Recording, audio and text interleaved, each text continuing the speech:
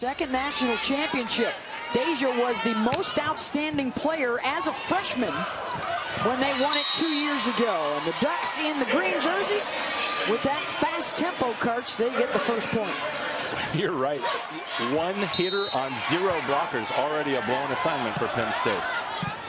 Well, as Maria alluded to, there may be a learning curve here early in the match for Penn State, trying to adjust to the speed. McClendon trying to bring some power, dug up by Plum, the tip by Bergsma. Ariel Scott, the Big Ten Player of the Year. Bumped out to Cat Fisher, misses it wide, point Nittany Lions.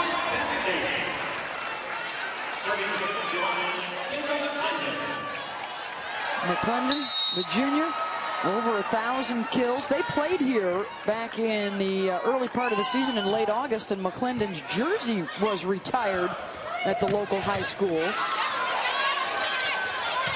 And Penn State actually practiced over there at Manual earlier this week to prepare for this semi. Here is McClendon with the swing out of the back. Plum, the back set, Bergsma through the block with right out Hancock. Jacob bumps it to Brenner. McClendon tips it. Burns covers. Fisher down the line. Point Penn State. This is a Penn State team that has been hitting extremely well in the postseason. They do not have a senior playing significant minutes for them but they also have the only players left in the tournament that have a championship ring. And a misfire on that set point Oregon.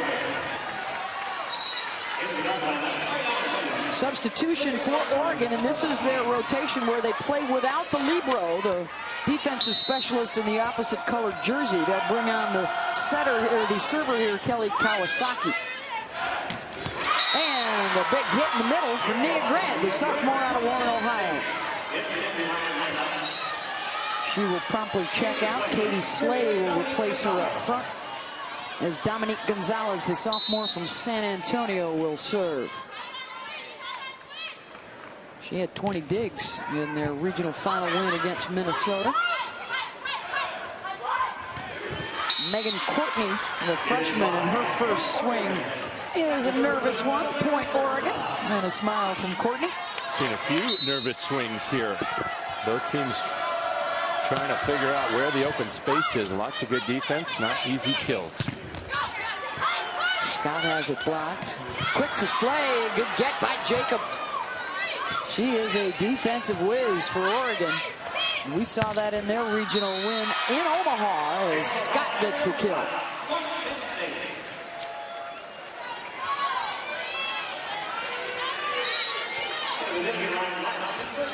Scott will retire to the bench. Lacey Fuller serves it at Cat Fisher, and Fisher gets the set and gets blocked.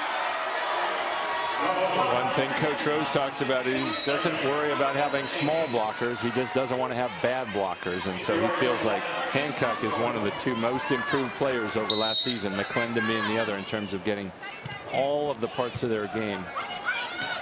Lots of improvement. Megan Courtney wins the joust at the net. The Big Ten Freshman of the Year, the fourth rated recruit in the country coming out of high school last year. There's the slide play that Oregon loves to run for Williams and denied by Penn State. Well, Oregon fooled Penn State on the very first play of the game, but look, Slay is all over that. Number 16, the middle blocker for Penn State camping out, setting up the 10 to block that. Was tied at three, then Penn State scored four in a row early in the semis. Back here at the national semifinals, Penn State two wins away from a sixth national championship, which would tie Stanford for the most in college volleyball history. Russ Rose, the winningest coach in terms of championships in the game with five titles. And this is the 10th trip for Russ to the national semis with Penn State. Uh, a little bit different for the Ducks. Sweeps of Northern Colorado, Dayton, and then BYU for the first time getting to the Elite Eight, and then a win over Nebraska for the first time getting to the national semis. Off the block and out, Point Oregon. Uh, Maria's got a report from the Oregon huddle for us. Yeah, Jim Moore was telling his setter, Lauren Plum, that she can use the pipe with Bergsma if she needs it, and also that they're going to always send two blockers to Williams, and they're also going to try and get to Onaleda when she is in the front row. So he told her to spread the ball out a little bit more and continue to keep this fast tempo as well. Thank you, Maria. It really is, Kirk, an offense that is unorthodox. You don't see many, if any, running this kind of tempo as fast as Oregon does. And they'll run different hitters to different places, different routes on the court. Unusual in college volleyball. And the other thing that's unusual is the setter will call the first play, but after that, they're all call, barking out the signals, looking at where the defense is, just like a wide receiver or receiver in football in a West Coast offense might look for the space and react accordingly. And the quarterback and the attacker have to be on the same page, just like the Oregon offense. He's only got one rule. Don't run into anybody else. Other than that, figure it out. And it takes a certain uh, game IQ to do that. The tip up and over. Looked like it might have been missed time, but Canace Finley able to hang up there for it. She did hang up there, and that's the risk of that offense is if you're talking about it as you're trying to run it, they look like they weren't quite on the same page in that rally. Nice pass. Wow. Oh, Slay with the finish. All the credit goes to number 17, Megan Courtney, scrambling just to get here and put it right on the money. Then a nicely placed set by number 12, the setter Micha Hancock. Penn State says we've got a little speed too here stepping on the accelerator. Setting outside to Brenner. Beats the block. Point Oregon for Liz Brenner, the three-sport star who's about to add a fourth. She's going to run track next spring instead of playing softball.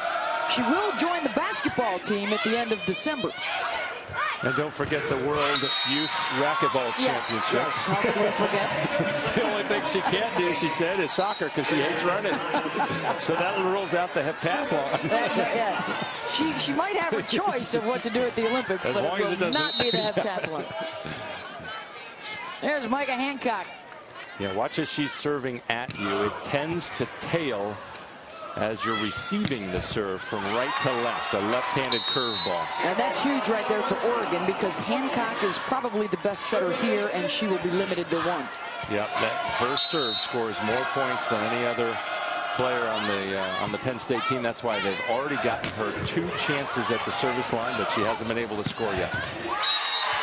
Big swing from Alaina Bergsma, the fifth-year senior from Chandler, Arizona, who has had a touch of the flu the last couple of days. Looking strong there. Which is just the recipe for a great game, says Michael Jordan, right? Yeah. The Utah Jazz know all about that one. And a kill at the net by Kat Fisher, the senior from Los Altos, California.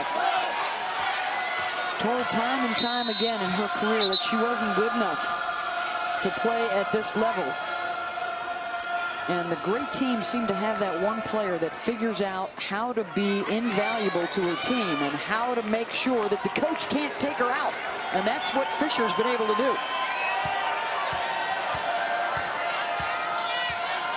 Oregon a 6-2 run here to even it up. And they have Fisher blocking the middle right now because they're trying to focus on Ariel Scott. She hasn't done a lot of that this season. They're sending their mi middle blocker, their biggest blocker, Canace Finley, who happens to be six foot two, a little higher, uh, taller than Fisher, out on the best Penn State hitter. Scott is six inches taller than Fisher. The back set, Bergsma through the Penn State block. Davis got three kills early on.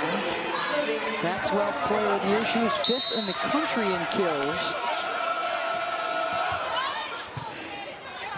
Out of the Phoenix area, grew up watching Arizona legend Kim Glass as a youngster.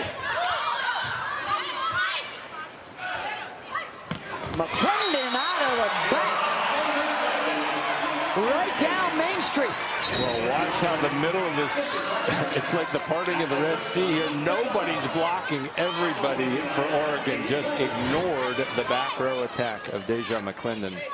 Probably don't want to do that much tonight.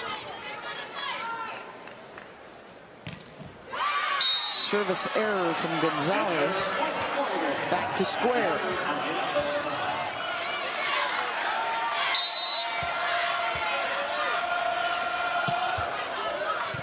Bergsma serves it at Deja. This is Ariel Scott straight down through the floor. And that's a good matchup. Penn State likes that. Scott at 6'4", hitting against Fisher at 5'10", two rotations.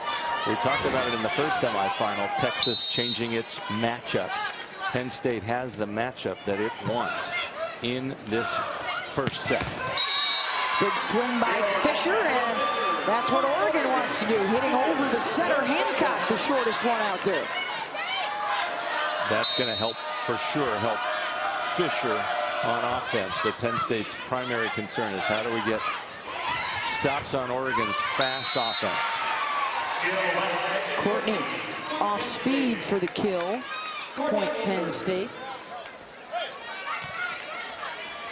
Nittany Lions coming in at 33 and 2. Their only losses, interestingly enough, for Oregon fans, Oregon State, which Oregon beat twice, swept them, and then at Nebraska.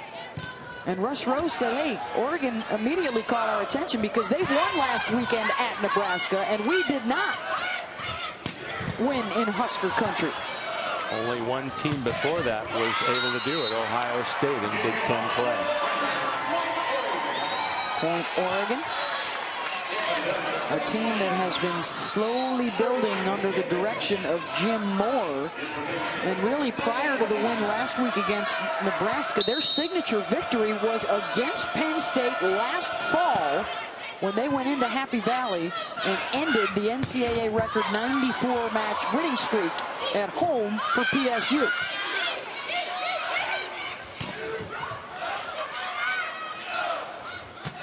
Bergsma right at Courtney. Quick to McClendon. Got it.